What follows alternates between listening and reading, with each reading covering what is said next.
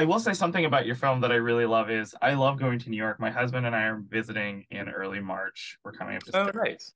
Yeah, and your film made me really uh miss it, even though I've never lived there, so I don't know the abject horror of living in a place that's like big. Um yeah. Yeah. And I have to say Charming.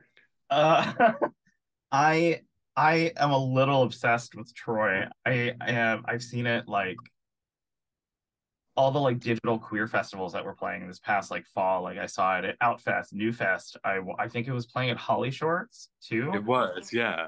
It when I had when I covered that film festival. I think the specificity of it and how gay it is and how um there's stuff in this movie that made me that makes me laugh every single time I I watch it, and uh, I'm trying to work.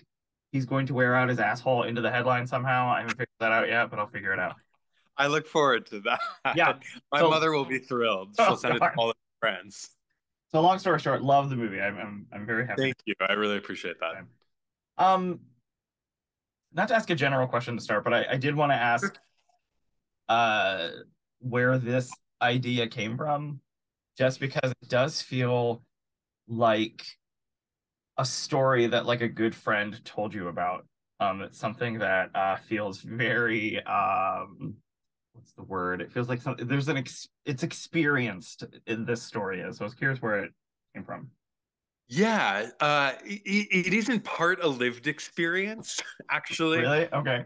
I, a little bit of it. I mean, the, certainly the premise. Um, Jen Silverman and Dane Laffrey, who I you know work with a oh, ton yeah. in theater, uh, and the three of us came up with this story and kind of like beated it out and structured it together. Um, it, there there was an apartment in our past uh, in their past that had a, a, situation with a neighbor. And, you know, the couple is very different and like with the journey they go on is very different, but like mm-hmm. the initial idea. And I guess like a few little details. It is also like there are a set of ideas in the short about, you know, becoming overly comfortably settled in a routine and the kind right. of like, need for intrigue and um, mm-hmm. for something to wake you up when you become a little stifled and numb like those are always things that i'm sort of interested in okay. in in work um and like some of the ways that they uh you know kind of lose themselves in this fixation on this guy and the degree to which they start projecting and like mm-hmm. the imaginative life of that like that that is stuff that I, i'm sort of like always very drawn to okay yeah it's um it reminded me of uh to a certain extent, even though the plot is nowhere near similar. Go with me here. Um, it reminded me of um Manhattan Murder Mystery a little bit. It's oh sure, totally. That's, that's my favorite of his who we we shouldn't say his name um uh movies um that I used to be really obsessed with about how you know that sort of um you let your imagination run wild and you sort of uh, totally I, I, used to watch that movie all, all the time as a like as Me a too.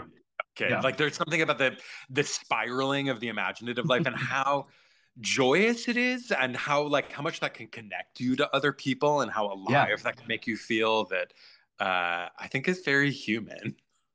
I actually joked the first time I watched it about the connect uh, the connectivity that it has. It uh I started calling it um only fucking in the building because reminded me of how in the first episode of Only Murders in the Building, they all connect over like, I listen to this podcast, I listen to that, and they like get totally. something. So um that's we take that as a title too. It's great. That's good. Yeah. Um, I have a list. I'm workshopping them all. Great. Um, I this is gonna sound like a very sort of flippant question, but I legitimately want to know. I yeah. love when the couple starts hearing it, or well, I imagine they've been hearing it for for a minute. Um, but you know, this is part of their routine now. You know, letting it silently build their frustration and maybe like pounding their you know their fist on the door. Um, but I, the, uh, the specificity of what we hear from next door is very very funny, and I was curious what you can tell me about like the direction of that, just because um, it's not just moaning we hear very specific things and i think the the build of that is is actually very uh, funny. Uh, thank you.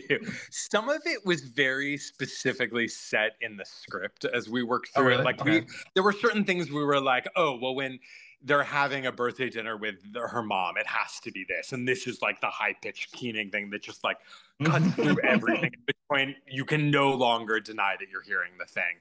Um, and then our our incredible um, AD, like we mostly didn't work with sound while we were shooting. Sometimes I would call okay. cue. But for that, he actually provided that sound, and it was so in like divinely inspired that that kind of like set what it was but a lot of it was sort of found through the editing process and like juxtaposing okay. like figuring out like what sort of really sang with this moment and we had a sense of the journey for the opening but to be honest we had to score the whole thing with temp tracks to really figure that out and so i okay. spent because I couldn't, I like couldn't ask anybody else to do this. It seemed like too horrible. I, I spent a couple days um, sitting in my apartment, like combing through porn and ripping audio tracks from porn and building a library of different sex sounds so that okay. we had a library to play with as we were editing. And then we went and we had like a, a very strange um, set of recording sessions with Florian, the actor who plays Troy, and our producer, actually, who's also an actor, and another friend, where we um, created tracks based on some of that stuff. But okay. Uh, I, the library is extensive. Like it's broken down by like rhythm and pitch, and like if there's an animal that feels, you know, like if something is particularly like a porpoise, or like if there's ad libbing and the nature of the ad libbing. Like mm-hmm. when we got into recording sessions, we started to realize like we should play with some of like what the dialogue might be, given that like some of this is a client uh, relationship. So I, I we really did go down a bit of a rabbit hole, um, getting specific about that stuff. I was, you know, making up some questions, and I was just like, I'm gonna sound like a giant pervert. Just be like, but, tell me about the direction of all of Troy's uh banging. Like, I, there's that because there has to be a variety. So I want, you know, it's it's worth asking about. Um, totally. Well, and it became important to get a sense. I mean, truly, it became important to get a sense that there's a duration of time, like a real mm-hmm. duration of time that this is taking place over. And so, like, if there isn't a real sort of like melange of different soundscapes, you lose that sense of like, wow, this is really like day, night for weeks. And it's just mm-hmm. like hundreds of different partners and like it never sounds the same hopefully so yeah I, I actually expected i was like i'm gonna hear a bicycle horn at some point that's what's just i'm just gonna hear it it's gonna happen um i'm sure we have that track somewhere which is it's an oversight um, yeah um i did want to ask about I mean, I feel like I know why just because it works better this way, but I want I wanted maybe to have you expand on the idea. I love that. I love that the couple never interacts with him. Like the most that they interact interact with him is he has his headphones in, or when she is at the bodega and he sort of uh, brushes her presence off. And um, I was wondering if you could tell me if that was always like that, or was there maybe a possibility where they did interact? Um, I feel like the mystery of who he is is a real driving force of the story. But I was wondering if maybe you could uh, comment or expand on that.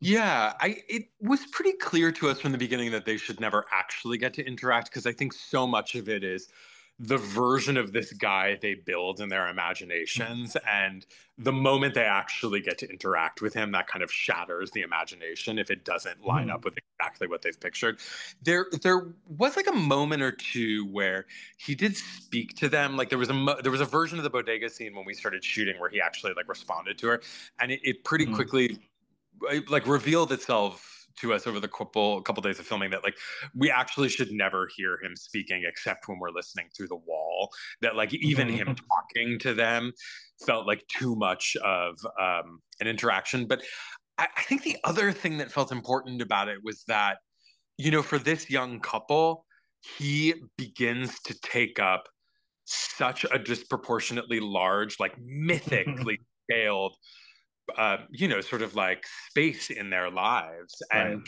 for him, I, he barely notices them. And I think the discrepancy between how much he means to them and the degree to which like he might actually never realize they're there mm-hmm. uh, also felt really interesting to us.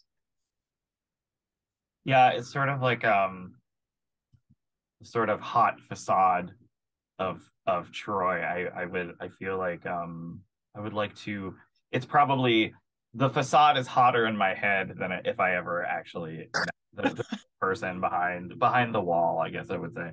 Um I did want to ask about um this sound really uh, sort of formal, but I, I don't know, like queer masculinity. Um, I feel like there is an idea of there. I sort of can't even figure out how to phrase this. It's just sort of like um, he's Troy himself is going through something very, very emotional, and mm-hmm. feel like in a lot of queer narratives, especially things like maybe, you know, beyond five or ten years ago, um, we don't really delve into that. And I think it's really interesting how I get an emotional journey of Troy, even though he doesn't talk to us. And he does represent this sort of like uh, queer bro, muscly dude who um, I would probably uh, horribly just assume he has an OnlyFans online. I don't know. There's something about the totally. film tackles um, hearing his emotions because we hear him crying, we hear him, we hear his anger. Um, but I was wondering how you wanted to sort of explore that in a non-traditional way because I think that's what um, is, was really compelling to me as as a gay man. Yeah, uh, thank you for that. I um, I think two things. One, it was important for us that we really get a sense of Troy as like a fleshed out person. I feel like one of the exciting mm. things about the the device was that we could still figure out how to create a really fully carved out person even though you're barely ever getting access to that guy mm-hmm. uh, and so being interested in seeing him go on like the the sort of like the rangiest emotional journey possible felt very exciting to us but i think the other part of it was that um it's it's not just like the really hot stuff that you like get inappropriate access to by living in a oh, place oh, yeah. like this city where you're on top of each other.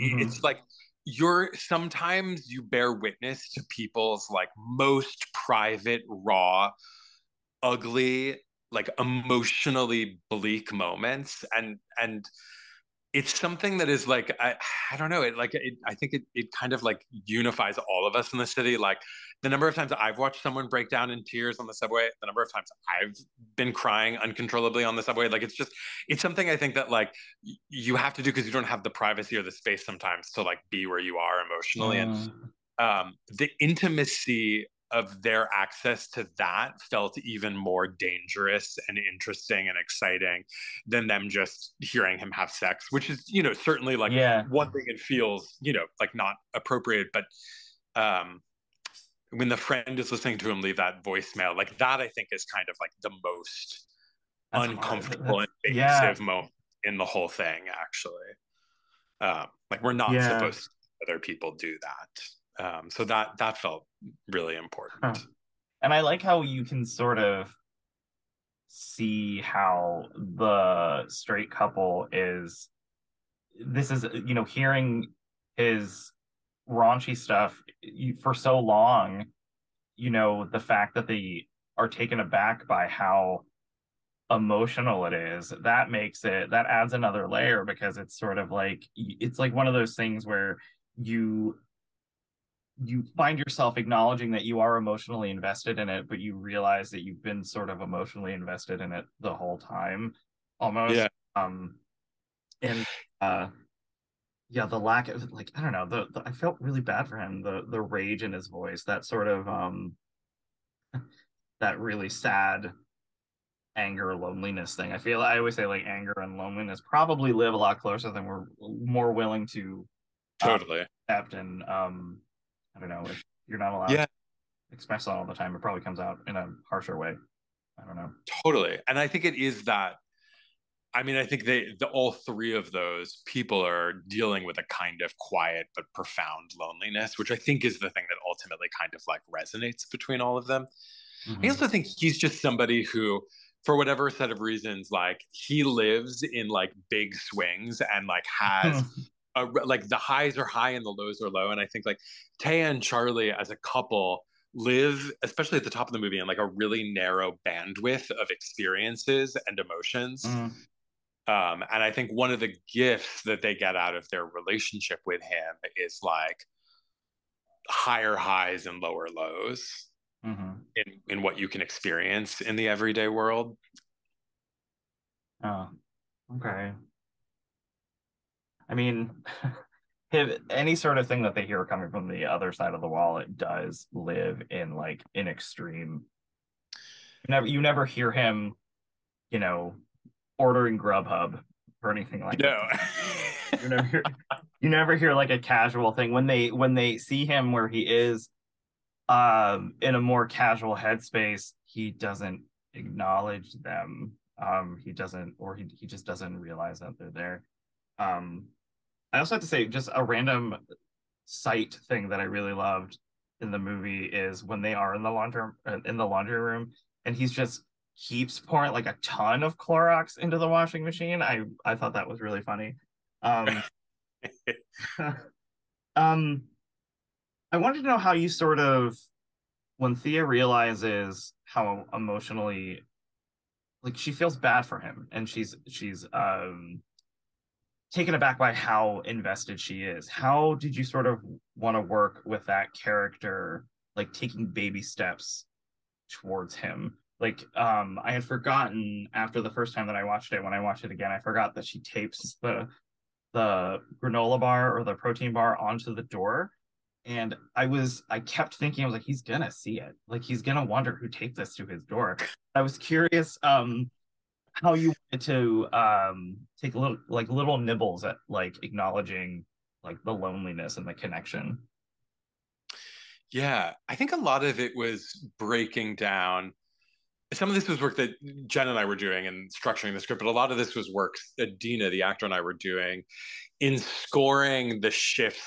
from irritation and imposition to curiosity to mm-hmm. fascination to obsession to a little more personal information that hooks her a little bit more to like getting access to his despair which changes her investment in him in a deeper way like she she goes to curiosity pretty quickly in that opening montage yeah. um, mm-hmm. in a way that mm-hmm. her partner doesn't um, but i think a lot of it was also about finding like i think one of the things that's activating for her is um, being increasingly bolder and a little more reckless about mm. her interventions. And so part of it was finding like the scale of, okay, well, it's one thing to like choose not to knock on the door, but slip the letter under because he's clearly going through something. It's another thing to like put on a song to try to like buoy him or like energetically send like warmth and affection through the wall. It's another thing to actually like tape something to his wall or like create a Grindr profile. Um so trying to just like uh, uh, like find those little escalations into increasingly more absurd or outrageous behavior. Still grounded in hmm. something very yeah. human like a, a little more um reckless. Yeah. Okay. I have to say that like there are a couple of moments where I like when she creates the Grindr profile and she you can see how she is like trying to talk like a gay man to like a gay guy in the middle of the night. I thought that was really it's very pointed, but it's also really uh it's peppered with such like a um, I keep saying specificity, but it's it's sort of like the the point of view of her trying to uh, put herself into the the head space of that, and it also reminded me of the the scene on the roof where they're talking to like a gay couple and the gay couple's like laying it out for them is like felt so honest. Like i feel like i've had conversations like that with my friends um that is just uh a very true thing that i uh this this movie is very sneakily true for um for me. So um forgive my gushing about it. Um no yeah i appreciate it. um, I guess one last thing before I let you go. Um, I've always been sort of very sad about the ending and when she walks into his apartment. Um and I don't know, like I don't want to ask like do you hope Troy is okay or do you think he's okay? But I kind of want to ask, do you think Troy is okay?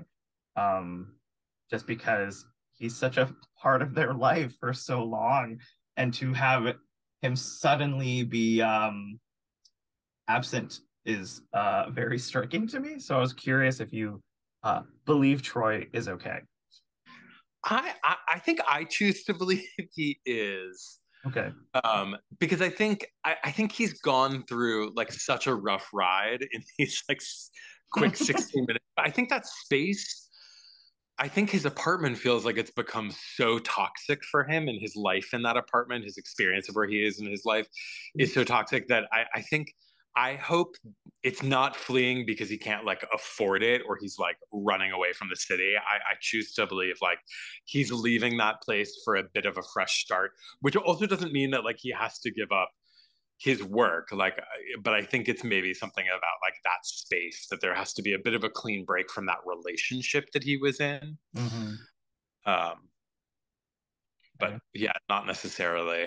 I don't know. I feel I feel like we're we're trying to walk a very like um, careful, necessary line of like not putting judgment on the work that he's doing. Yeah. Mm-hmm. Um, There's something about in the argument that he has um, that I think is actually really good that you, you that it's in the script is when we hear him say to his boyfriend or partner he was like i make more money this way like it's not like like that's like a real thing that some people i just read an article yesterday like on buzzfeed about how you know a content creator and like how much money they make and they they interviewed like 25 people on a different variety of of things. So it's something that um i feel like after the pandemic raged for so long like it's it's like a, an alternative that some people uh realize it is actually part of their life.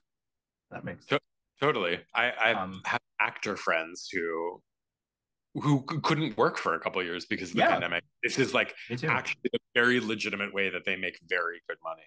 Yeah. Okay. So, uh, thank you for letting me gush at you for 20 minutes. Um, I think the, the image of um, the image of her hugging the wall is a very uh, I think that's a very universal image, and I think it's especially after all the shit that we've been going through in the last couple of years.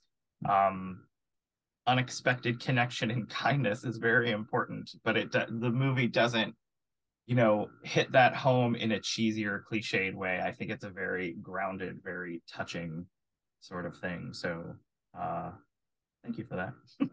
Thank you. I really appreciate that. It's so yeah. lovely to get to talk to you today. Yeah i've i've been um a little this is one of my favorite movies that i've short films that i saw at um at film festivals, and every single time it popped up, I watched it each time, and it's just oh, thank you. Good. So, uh, forgive my dorkiness, but yeah, I love the movie. Thank you for uh, taking the time to talk to me, and I'm glad that it's playing at Sundance. More people can see it. Yeah. right.